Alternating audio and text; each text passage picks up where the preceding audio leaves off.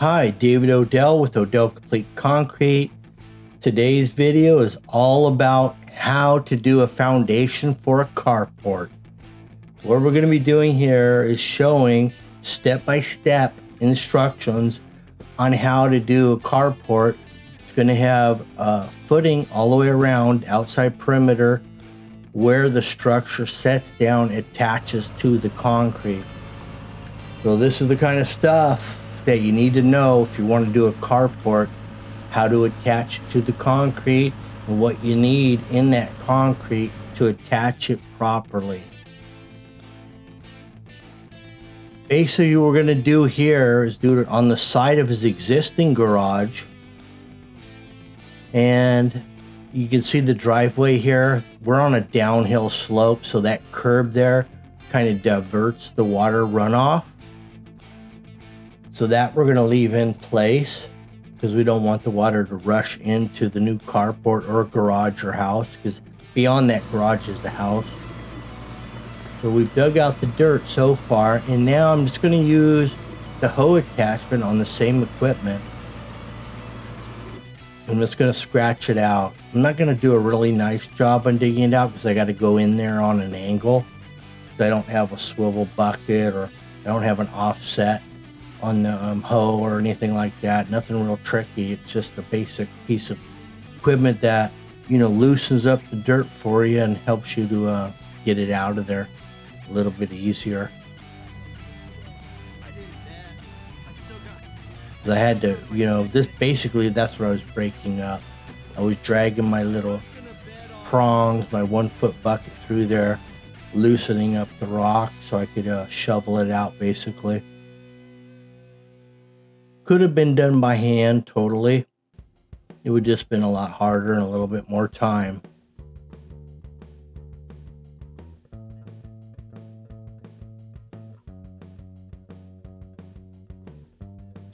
There's an existing fence post that had to be removed. It had a massive footing on it, so we left the footing intact. Because the front of this entrance of the carport doesn't have a um, deepened footing only the rear and two sides. We did go a little deeper though on everything. We went about five inches deep on the whole package.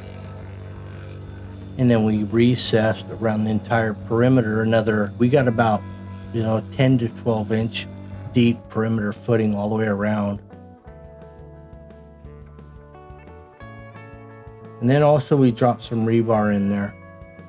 We got two number three rebars around the perimeter.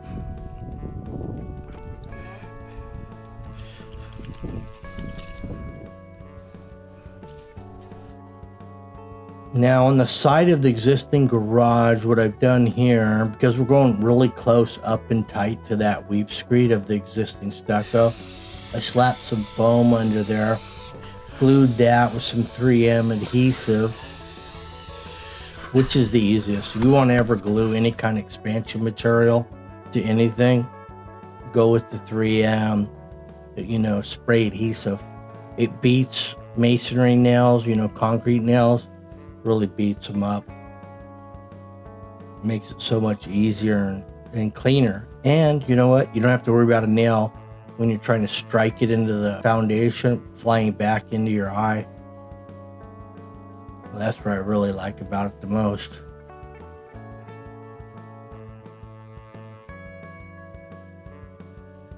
So we are, we got Kenny out here today. He's not pumping the concrete, but he is to help finish this. And a matter of fact, you're going to see the great idea he came up with. And I was planning initially just to go ahead and dry pack this after the fact, after the structure went up.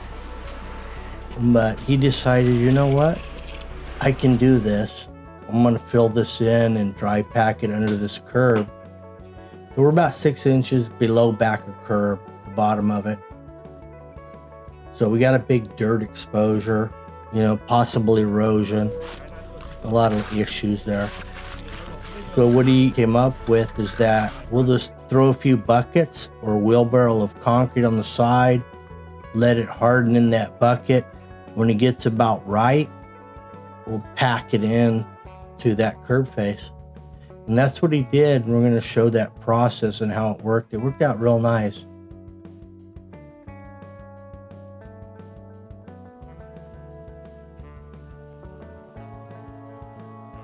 Here I am, free screeding on a uh, with a six foot Milwaukee red stick. I also got the four foot red stick when I even get tighter situations, but in this case it was six footers. Here's my new tool that I've been waiting to use, man. I bought this thing, I had to go down to Vegas, decorative concrete in Las Vegas, Nevada. Drove all the way down there. It's a little drive, you know to get there from here about two hours, hour and a half, something somewhere in there, depending on road construction, of yeah, course. That's like never ending. So, you know, we got it done. We got over there in Nevada. We picked up this roller tamp, and uh, it was a magnificent new addition to my fleet, I have to say. You know, the hand tamps are nice and stuff, but, you know, why fight it when you got a roller? Just push it out there and bang it home but it laid it down flat, got it good. When you run the bull float, you're just pushing cream, you know, everything you can ever dream for.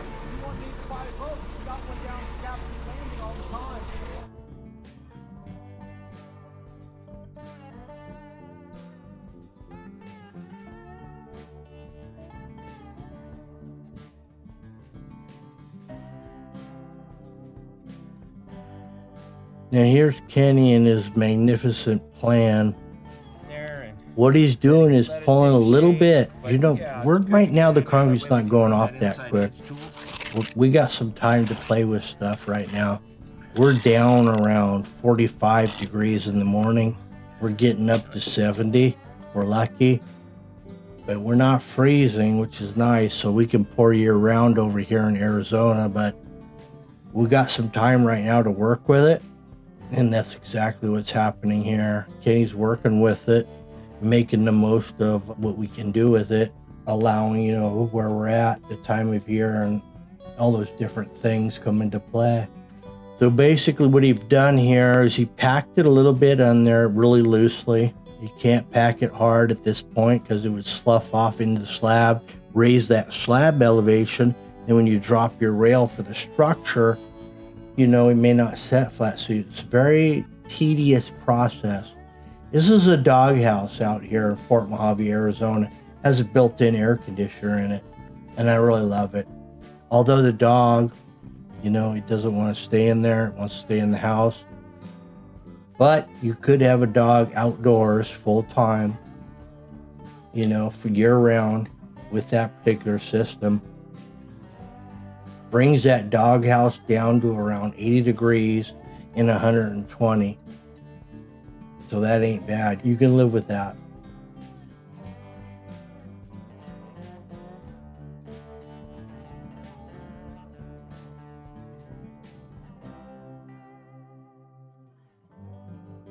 Here's the tricks right here that Kenny's showing. Just doing a little by little. There's no hurry. He's got plenty of time.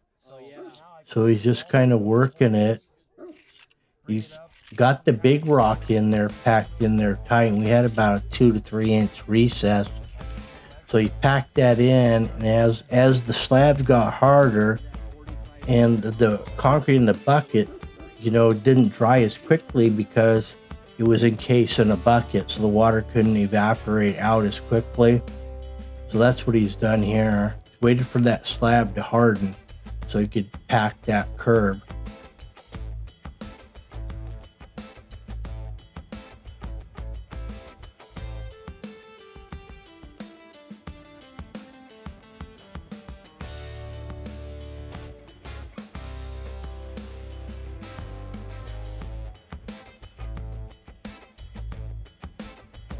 We have a Doug Odell on the far side running whip, and then I'm here on the um, close side with another whip. We're just going to whip this thing out. Uh, Basically, we're going to do on this carport, um, he wants a smooth finish. which makes sense. You're in an enclosed area and you're not getting a lot of water and environment, you know, coming down on your concrete. You're going to be pretty protected in here from freeze and thaw. Although we never get freeze, we never get thaw. You might get a little rain at most, but I guess you could say the best scenario for a smooth finish in this particular region would be the easy cleanup because we do get a lot of dust storms, a lot of sand accumulation, things of that nature. If you have a smooth finish, well, it's a lot easier to get rid of. You can use just a Milwaukee vac blower.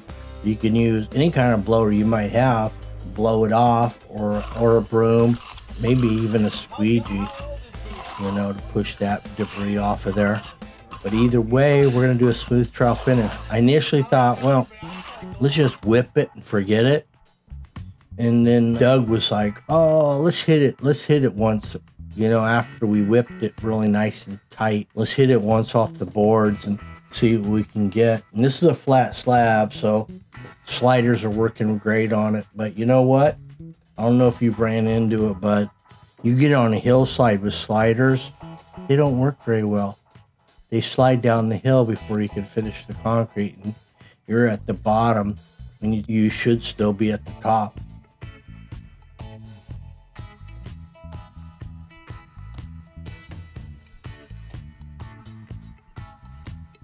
So there's Kenny working the magic. He has a little special broom that he broke off, finishing that concrete burn in and that backside curb face.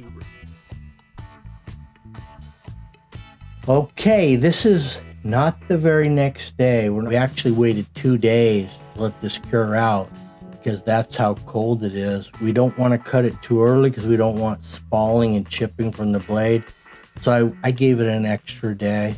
But I've got a really nice system here. Everything's battery powered.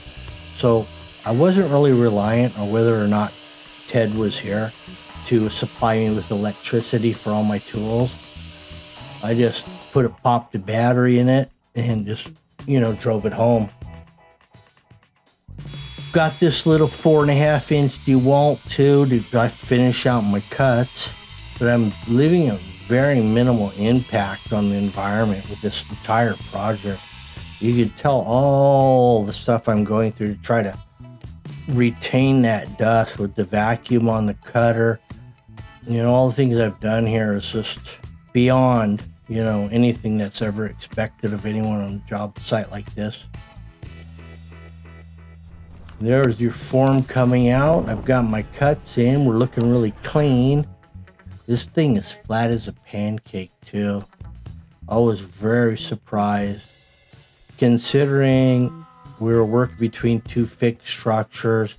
I had to um, kind of freehand it almost. I had some screed, overhead screed set up, but a lot of it was freehand really because I couldn't snap a line along that backside of curb because it didn't go down low enough to snap a line on. So I had to hang some screeds over there. It was a tricky application here, but you know what? And from what I'm looking at right now, I think we got it done. I think we succeeded here. I'm proud to say that I will be happy to go back at this job any point in time to do more work if need be. Thank you for your cooperation and really happy about your attention to detail. Make sure you comment, like, subscribe, and don't forget to hit that bell because that's the secret weapon that gets you notified when I drop the next video. And it's going to be absolutely magnificent.